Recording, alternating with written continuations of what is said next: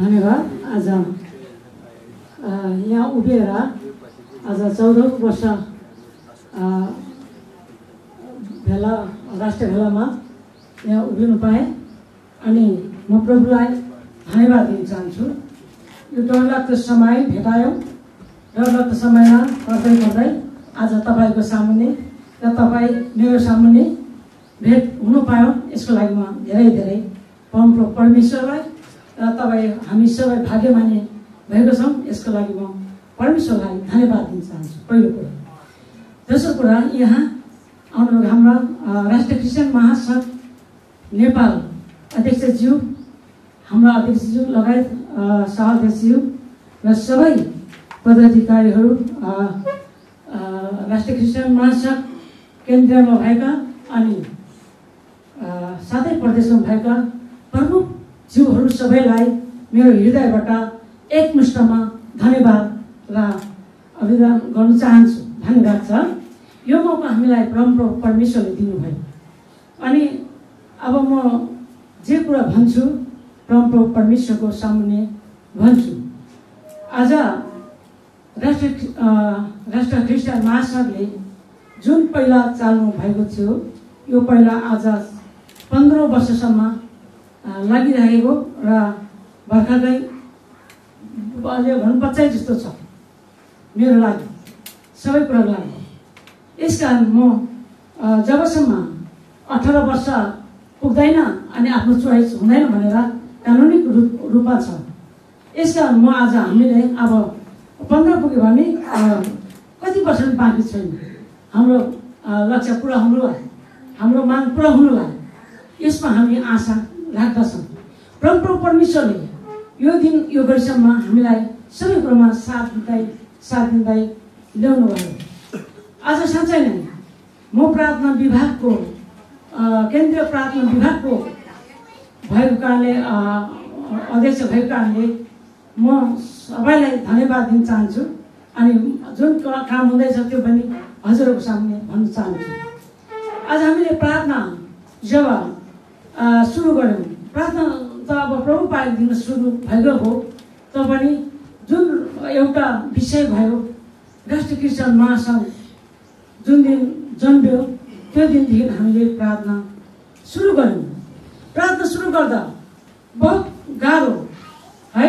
अनि बहुत गाह्रो थियो। अब यो गाह्रो अहिले पछाडि भन्छु त अहिले चाहिँ के छ भन्दाखेरि हाम्रो प्रार्थना विभागबाट म के भन्न चाहन्छु भने पहिला एकजना दुईजनाबाट सुरु भयो। त्यसपछि हुँदा हुँदै हुँदै हुँदै मनमा धेरै पिर भयो। कसो गर्नु होला के गर्नु होला कसरी उकास्नु होला? त्यसो हुँदा हुँदै आज काठमाडौँ जिल्लामा प्रार्थना सुरु भयो। अनि विभिन्न किसिमको विभागमा सुरु भयो प्रार्थना। त्यस पछाडि सातौँ प्रदेशमा सुरु भयो। त्यस पछाडि अन्तर्राष्ट्रमा सुरु भयो। अनि केन्द्रीयबाट हामीले आइतबार बुधबार बुधबार बिहान सात बजी कन्टिन्यू हुन्छ। आइतबार अङ्ग्रेजी महिनाको लास्ट हप्ता बजी भएको छैन भने? छ बजी होला छ बजी बेलुकी छ बजी। त्यस्तै गरी अब अन्तर्राष्ट्रियमा सबै ठाउँमा राष्ट्रियमा प्रार्थना सुरु भएको छ। यसकारण सबै जगहरू हाम्रो जगहरू बलियो भएको छ। हामी कमी भएको छैनौँ। अब हामी के भएको छौँ? हाम्रो जग चाहिँ सतहत्तरै जिल्लामा प्रशस्त गरेर हाम्रो प्रार्थनाको जगहरू फिचेको छ। त्यति मात्रै नभएर अन्तर्राष्ट्रियमा पनि हाम्रो प्रार्थनाको जग उहाँहरूको महिनामा एकपल्ट हुन्छ। आफ्नो छुट्टी मिलाएर हजुर हाम्रा पास्टर बाबु यहीँ हुनुहुन्छ। उहाँले आ, जनाउनुहुन्छ होला भनिदिनुहुन्छ होला। अनि हामी यसमा डर मान्नु पर्दैन। यो चाहिँ हाम्रो प्रार्थना विभागको एउटा प्रार्थनाको उत्तर हो। है एकजना थियो आज कतिजना छौँ हामी? सत सतहत्तर जिल्लाबाट सात प्रदेशबाट। आज जस जतिजनाले मलाई माया गर्नुहुन्छ सातौँ प्रदेशबाट जतिजनाले मलाई चिन्नुहुन्छ अनि मलाई माया गर्नुहुन्छ म पनि हजुरहरूलाई माया गर्छु। म तपाईँहरूको लागि हात उचालेर म मेरो माया छ भन्छु। हजुरले मलाई चिन्नुहुन्छ मलाई हात उचालेर माया गरिदिनुहोस् त एकपल्ट। है। सधैँ प्रत्येकले आज मलाई माया गर्नुभएको छ। यो मायामा म मग्न भएको छु। यो प्रेममा म मग्न भएको छु। यसकारण म अझै परमेश्वरलाई धेरै धेरै धन्यवाद दिन्छु। आज समय विचार गरेर गर्नु भन्नुहुन्थ्यो। अनि समय त दिनु भएन। तर हिजो पाँच मिनट थियो आज पाँच मिनट दिनु दिनुहुन्छ कि भनेर मैले बोनस मागेको थियो। बोनस थपिदिनु भएको छ। यो बोनसमा म केही अब चाहिँ मेरो आफ्नै कुरा यो बोनस पाएकोमा चाहिँ म आफ्नै कुरा भन्न चाहन्छु। म यो महासङ्घमा यस्तो पिट्न प्रार्थना किन गरेको होला? किन यसको पछि लागेको होला? के मेरो तह पाएर हो? या मलाई धेरै इज्जत गरेर हो? म एकदम राम्रै देखेर हो? या म मोटो देखेर हो? म धनी देखेर हो? मलाई यति साह्रो राष्ट्र कृष्णले माया गर्नुभएको छ। अनि म पनि राष्ट्र कृष्णलाई केही आशामा माया गरेर यो परमेश्वरले जान्नुहुन्छ म किन मेरो अब मेरो आफ्नै व्यक्तिगत भन्छु म किन माया गर्छु महासँग भन्दा? यही देश यही चितवनमा म अब प्रश्न गर्न चाहन्छु। राजमाटीको कोही आउनुभएको छ? राजमाटीको? राज राजमाटी कोही आउनुभयो टाढीको चितवन टाढी भक्तपुर सुजापुरको कोही आउनुभएको छ? आउनुभएको छ। आउनुभएको छ। आजभन्दा हजुर धन्यवाद। तपाईँले मलाई पैँतिस वर्ष अगाडि देख्नु भएको थियो। यो ठाउँमा कसरी चिन्नुहुन्छ? चिन्नुहुन्न। सायद कोही छुटेर गइसक्नु भयो होला यहाँ आउनु भएन होला है त्यो छ आजभन्दा पैँतिस छत्तिस वर्ष अगाडि म जवान अवस्थामा थिएँ। जब म प्रदेशमा थिएँ विदेशमा थिएँ त्यतिखेर यहाँनिर विवाह भएछ राजमाटीमा म सानो गवाई भन्न चाहन्छु छोटकारीमा विवाह हुँदा सेतो लुगा लाउनुपर्छ भनेर बेहुलीलाई सेतो लुगा लगाइदिएर बिहा भएछ। बेहुली घरमा ल्याउँदाखेरि हाम्रो बेहुलीलाई विधवा बनाएर ल्याउने? भनेर चाहिँ सबै आफन्तहरूलाई एउटै डोरीमा बाँधेर पास्टरलाई बाँधेर झ्यालमा ल्याएछ झ्यालमा चुनेर पास्टरलाई कुटेर यदि तपाईँहरू छ भने भनिदिनु होला कोही आउनुभएको छ भने। कुटेर नभए कलम भाँच्थ्यो अनि पचहत्तर वर्षको बाजे भनौँ दाई भनौँ उहाँलाई घरभित्र पानी हालेर यो ढोका उगाडेर तिन दिनसम्म पानीमा उभाएछ यो कुरो सुनेपछि हामीले अनि कतिजना चाहिँ अघि भन्नुभयो जस्तै पैसा राखेर निक्लिनु भयो कतै हेर्न आएको के के भन्दै निक्लिनु भयो परेको बेलामा कोही हुँदा भने जस्तै। त्यस पछाडि यो खबर सुने बित्तिकै हामी आठजना टिम निक्ल्यौँ। मेरो चारवटा बच्चा छ दुईवटा छोरा दुईवटा छोरी म नानीहरू सबै छोडेर त्यो बेला मेरो पच्चिस वर्ष उमेर थियो। छब्बिस सत्ताइस वर्ष उमेर थियो। म आएँ त्यो टिममा मिलाएँ। जब त्यहाँ आइपुग्यो अनि त्यो पास्टरलाई हेर्नुलाई सपोर्ट गर्नुलाई झ्यालगानमा बसेर मान्छेलाई हेर्नुलाई सपोर्ट गर्न आएँ। जब चार बजी आएर त्यहाँ आइपुग्यो अनि बस्यौँ हामी। त्यहाँ बसेपछि एकजना यस्तो कामदै आउनुभयो। हामी त गीत गाउन थाल्यो। बुढो मान्छे। तपाईँ भागिहाल्नुहोस् भागिहाल्नुहोस् यहाँबाट भागिहाल्नुहोस्। किन? किन भाग्ने? कस्तो पेजबाट किन भाग्ने? पुलिसहरू आएको छ गाउँले सबै पुलिसहरू आएको छ भाग्नुहोस् भन्नु। हामीले भने हामी भाग्दैनौँ। हामी केही छ हामी भाग्दैनौँ। तर अरूले साथीहरूले भन्नुभयो हामी त झन् छ नि यहाँको मान्छेलाई फेरि साह्रो पर्छ झन् कष्ट पर्छ। त्यो पास्टरलाई बोरामा हालेर माथि झुन्डाएर आगो लाएर तेरो प्रभु भन्। है? अनि साइकलमा लाउने पोम मुखमा हालेर यो पोम गरेर फुल्याउने यो सुन्नु भएको छ कि छैन? कसरी सुन्नु भएको छ भन्नुहोस्। सुन्नु भएको छ। राजमाथिको कुरा। पोम हालेर फुलाएर लु भन् तेरो प्रभु कहाँ छ यो अहिले मेरै समयमा हो। पैँतिस वर्ष छत्तिस वर्ष अगाडि कुरा। अनि त्यो बेलामा छुट्याउनु कोही भएन। तब हामी त्यहाँबाट भाग्यौँ। भाग्यो जस्तै भयो।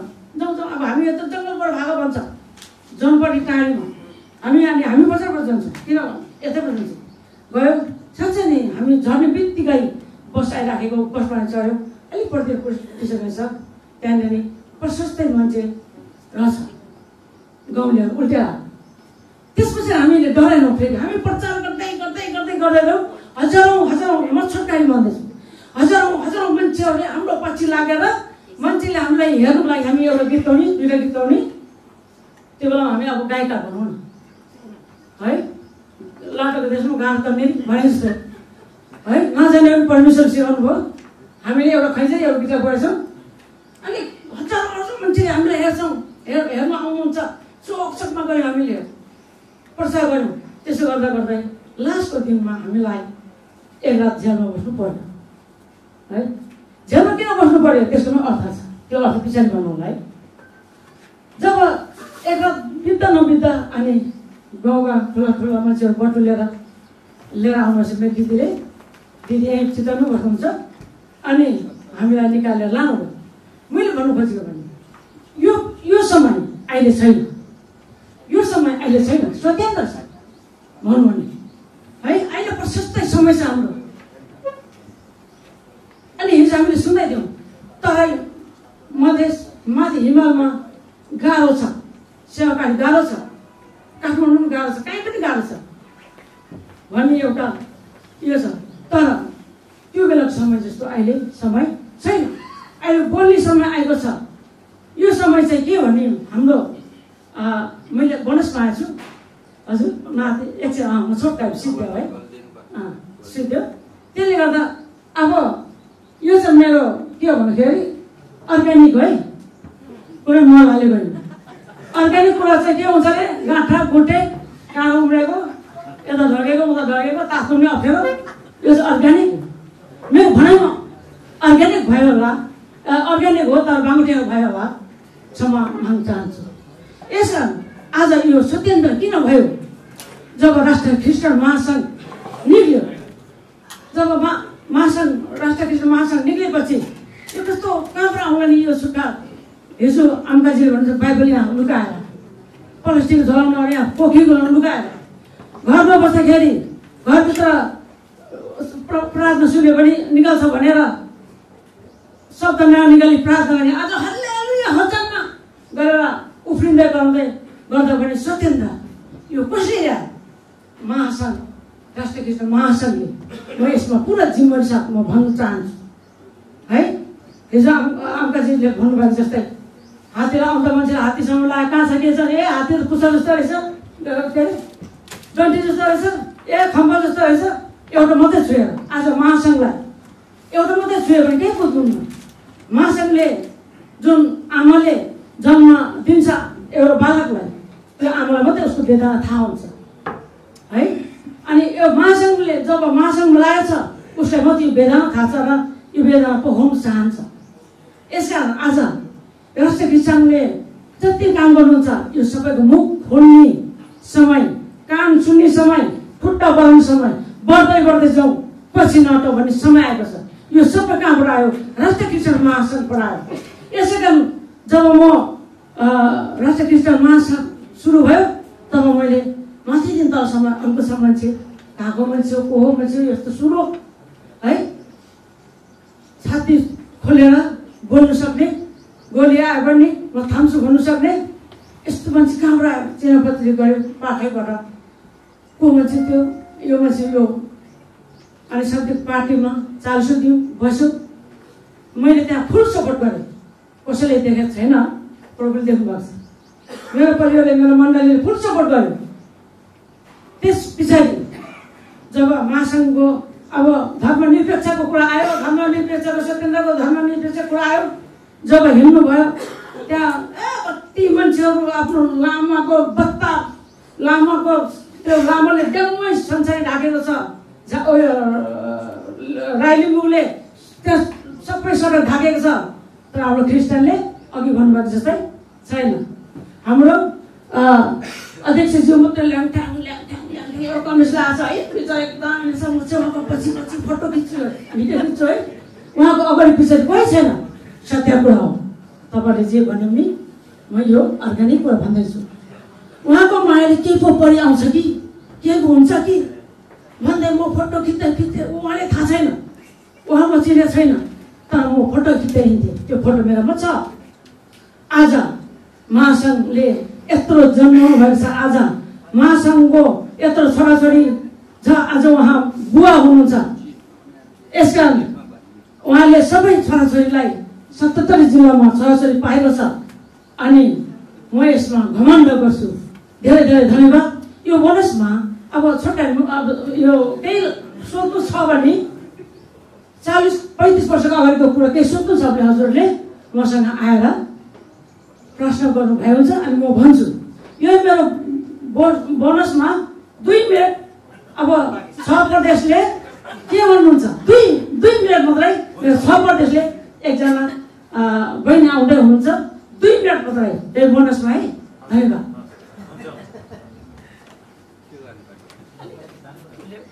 त्यहाँ उहाँले सेवा कसरी गर्दै हुनुहुन्छ र कसरी सुरु अब गर्नुहुन्छ त्यो भन्नुहुन्छ दुई मिनट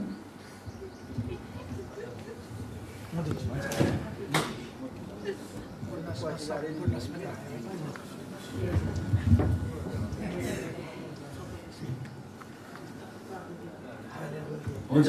दुई मिनट समय लिनु होला। हुन्छ सबैलाई मलाई चाहिँ छोटो समय दिनुभएको छ त्यो पनि अनुग्रह हो परमेश्वरलाई धन्यवाद। आजको चाहिँ यो क्रिस्टे महासङ्घका यो क्रिस्टे महासङ्घ नेपालको हाम्रो अभियान नेपाली क्रिस्चियन समुदायको स्वाभिमान र अ, परिचालनको चौधौँ महाधिवेशनको भेलामा उपस्थित हुने हाम्रो सम्पूर्ण गुरुबाहरू लगायत सम्पूर्ण पदाधिकारीज्यूहरू र विभिन्न विभागीय अभिभावकज्यूहरू र हाम्रो मैले सम्मान आदर गर्नुपर्ने सबै साथी प्रदेशका गुरुबाहरूलाई म सम्मान गर्न चाहन्छु र यो नयाँ वर्षको शुभकामनामा आशिषमय दिन सबैजनाले पाउनुभएको होस् भन्ने पनि म चाहन्छु। परमेश्वरलाई धन्यवाद होस्। म मेरो केन्द्रीय प्रार्थना प्रमुखजी हाम्रो आदरणीय दिदीबाट मैले दुईवटा दुई मिनट समय पाएको छु तर पनि एक मिनट थपिन सक्ला। म त्यसमा अ, किनभने बोल्नेलाई थप्न सकिँदैन होइन? तर परमेश्वरले जो गर्नुहुन्छ भलै गर्नुहुन्छ।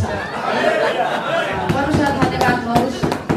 र एकदेखि सात नम्बर प्रदेशसम्म प्रार्थना विभागको कुराहरू तय हुँदै परमेश्वरले योजना बनाउँदै ल्याउनु भएको छ। प्रार्थना जहाँ छ त्यहाँ परमेश्वरको शक्ति हुन्छ। आमेन। त्यस कारणले गर्दा आज प्रार्थनामा परमेश्वरको अनुग्रह छ। परमेश्वर सधैँ आफ्ना चेलाहरूसँग प्रार्थनामा बसिरहने परमेश्वर हुनुहुन्छ। उहाँमाथि हामी विश्वास गर्ने छोराछोरी हो र उहाँले हामीलाई खेतालक रूपमा संसारमा पठाउनु भएको छ सुन्नु भएको छ। त्यस कारणले प्रार्थनाको अभियानमा हामी चाहिँ स्वाभाविकैले हामी चाहिँ अगाडि गर्नुपर्छ यो दायित्व हाम्रो हो। त्यस कारणले गर्दा आज मलाई छोटो गवाहीको रूपमा म भन्न चाहन्छु कि कर्णाली प्रदेशको हिमाली पहाडी इलाकाको मुलुकमा आज हामी जस्तो तुच्छ व्यक्तिलाई प्रार्थनाको अभियानमा राख्नु भएको छ। म परमेश्वर धन्यवाद दिन्छु। त्यहाँ चाहिँ एकदम गहन रूपले देवी देवता मूर्ति पूजक पुज्ने ठाउँ हो। र आज प्रार्थनाको योद्धा बनेर जिउँदाखेरि समस्या धेरै आउँछ तर प्रभुले हामीलाई विजय दिनुहुन्छ। है त्यस कारणले गर्दा मेरो जीवनमा मलाई जब प्रार्थनाको कुराहरू जब मलाई परमेश्वरले आफ्नो बोलावत र आफ्नो योजनाको कुराहरूमा परमेश्वरले मलाई दिनुभयो यो काम अन्तको मलाई परमेश्वरले दिनुभएको अभिभावकहरूलाई मैले भोग्दै गएँ अनि मेरो परमेश्वरले मलाई गवाईको जीवनहरू पनि तय बनाउँदै लग्नु भएको छ। र म गएको बिता बितेको कुराहरू म भन्न चाहन्न सतहत्तर दुई हजार सतहत्तर सालदेखि यतातिरको कुराहरू म भन्न गइरहेको छु।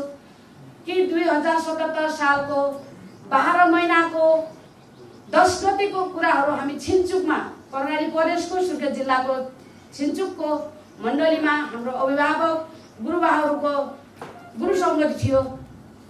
त्यहाँ चाहिँ परमेश्वर मसँग बोल्नुभयो र आराधनाको बिचमा परमेश्वरले मसँग बोल्नुभयो कि म यस्तो किसिमको आवाजहरू मसँग आयो कि मलाई परमेश्वरले अबको केही दिनभित्र नेपालभित्र मण्डलीहरू ढोका बन्द हुँदैछ? र अब मण्डलीहरूको पास्टर गुरुबा र गुरुबा आमाहरू अगुवा दिदीबहिनीहरू चाहिँ प्रार्थनामा जुट्नुपर्छ र परमेश्वरको नाउँमा यसलाई चाहिँ शैतानको बन्धनहरूको जुवार टुटाउनुपर्छ भनेर प्रभु बोल्नुभयो। र म त्यसको साथै म परमेश्वरमा अधीनता भएर म परमेश्वरमा प्रार्थना गर्दै म घर फर्केँ। र मेरो आदरणीय एकजना हाम्रो हाम्रो भूमिको एकजना आदरणीय हाम्रो पास्टर लिलबहादुर शिरिषको श्रीमती कहाँ मलाई पठाउनु। अनि मलाई चाहिँ दिदीबहिनीको अगुवाको बिचमा मलाई गुरुआमाको बिचमा पठाउनु भयो अनि मैले त्यहाँ सल्लाह र सहमत र एकता जोडेरै गएँ। र मैले चाहिँ त्यहाँ चाहिँ ती दिदीबहिनीहरूलाई चाहिँ मैले अनि त्यो सबै कुराहरू मलाई परमेश्वर बोल्नु भएको कुराहरू मैले जनाएँ। अनि म चाहिँ त्यहाँ परमेश्वरको अगाडि म त्यसरी बोल्दा बोल्दै अनि मलाई त्यहाँ दिदीबहिनीहरूले कामको फुर्सद नभएको कारणले गर्दा हामी अव्यवहार गर्न सक्दैनौँ। र कुनै समय आउँछ भन्ने कुरा गर्नुभयो। म रुँदै गएँ। है म किन रोएँ त भन्दाखेरि मलाई परमेश्वरले दिनुभएको बोझ र दर्शन थियो। है त्यस कारणले गर्दा म रोएँ। अनि रोएको बाबतमा परमेश्वरले त्यसको लगतै असारको महिना चाहिँ मलाई ती दिदीबहिनीहरू सम्पूर्ण दिदीबहिनीहरूलाई दसवटा मन्दिरलाई एकता बनाएर अनि प्रार्थनाको योद्धाको विषयमा हामीले खडा गराएर अहिले चाहिँ सुर्खेतको पूर्वी इसाई समाजमा हामी छ्यालिसवटा मन्दिरलाई हामी चाहिँ प्रार्थनाको विभागमा हाम्रो पास्तानी आमाहरू अगा अगुवा दिदीबहिनीहरू जुटेर प्रार्थनामा सुरु गरिरहेका छौँ। आमेन। त्यसपछि परमेश्वर फेरि मलाई दुई हजार पचहत्तरको जेठको दुई गते सात बजे मसँग परमेश्वर फेरि बोल्नुभयो। र मैले सानो डेरी मैले सञ्चालन गर्दै थिएँ। छु। र त्यहाँ चाहिँ दुध वितरणको कामहरू मैले सुरु गरेर थिएँ? मेरो भित्र आत्माबाट प्रभु बोल। उकुस मुकुस हुँदै बोल्नुभयो अनि छोरी तिमी चाहिँ छिटो गएर प्रार्थनामा बस भन्नुभयो। अनि मैले चाहिँ दुध भर्दै थिएँ दुध बिक्री गर्दै थिएँ। अनि फेरि अर्कोचोटि भन्नुभयो मलाई परमेश्वरले। अनि त्यसपछि गएर फेरि पनि मलाई फेरि भन्नुभयो। तिनचोटि मलाई त्यो भनिसकेपछि अनि म गएँ म प्रार्थना गरेँ। अनि म यति असिन धारा रोएर पशुतापको आत्माहरू मलाई खनाउनु भयो अनि त्यसको बावजुद चाहिँ परमेश्वर मसँग बोल्नुभयो। अनि परमेश्वर मसँग बोल्नुभयो अबको केही दिनभित्र नेपालमा ठुला ठुला पास्टरहरूको मृत्यु हुँदैछ भन्नुभयो। है? जेठको दुई गतेको सात बजे मसँग त्यसरी बोल्नुभयो मतिर फर्क्यौ र म तिमीहरूतिर फर्किने छु पश्चाताप गर किनभने परमेश्वरको राज्य नजिक आएको छ भनेर बोल्नुभयो। अनि त्यसपछि मैले प्रार्थना गरेँ प्रार्थना गरेँ प्रार्थना गरेर रोएँ पश्चाताप गरेँ। तिनचोटि आवाज आयो मसँग अनि परमेश्वर बोल्नुभयो। अनि मैले भने अनि प्रभु साँच्चै पनि म यसको निम्ति म प्रार्थना गर्नेछु भने। अनि मलाई छजना पास्टर गुरुवाहरूलाई देखाउनु भयो तिनजनालाई चाहिँ कोरोना भाइरस लागेको रूप लागेको देखाउनु भयो तिनजनालाई प्रार्थनाको योगदान देखाउनु भयो अनि त्यसपछि गएर नभन्दै जेठको दुई गते परमेश्वर बोल्नु भएको जेठको चार गते काठमाडौँबाट रोबर काठमाको मृत्युबाट सुरु हुँदै गयो। है? अनि त्यसरी गर्दै नेपालमा सबै ठाउँमा कोरोना भाइरसले पीडित बनायो। पास्टर गुरुबाहरूको जीवनहरूमा ठुला ठुला मृत्युहरू आयो। अनि त्यस्तै गर्दै परमेश्वरले आज यो दिन र समयसम्म प्रार्थनाको योद्धाको विषयमा प्रभुले दिनुभएको अव्यवहार मलाई प्रभुले दर्शन बोझ अभिमानीका कुराहरूबाट नै परमेश्वर चलाउनु भएको छ। यो प्रार्थनामा सबै गुरुबाहरू अनि एक नम्बरदेखि सात नम्बरसम्म प्रार्थनाको विभागमा समर्थन रहने विभाग लिएर अनि सबै गुरुबाहरूको अनि साथ सहयोगले सबै देशलाई आज हल्लाउँदैछ। त्यस कारणले गर्दा अनि युवा देश चौधको चौतिसमा भन्छ। धार्मिकताले देशलाई उचाल्छ आज प्रार्थनाको आवश्यक यो देशले मागिरहेको छ। यही भन्दै म यो छोटो कुरा टुङ्गाउँछु हस् धन्यवाद धन्यवाद। हाम्रोमा बलिमाया बुढा हुनुहुन्छ छ नम्बर प्रदेशबाट।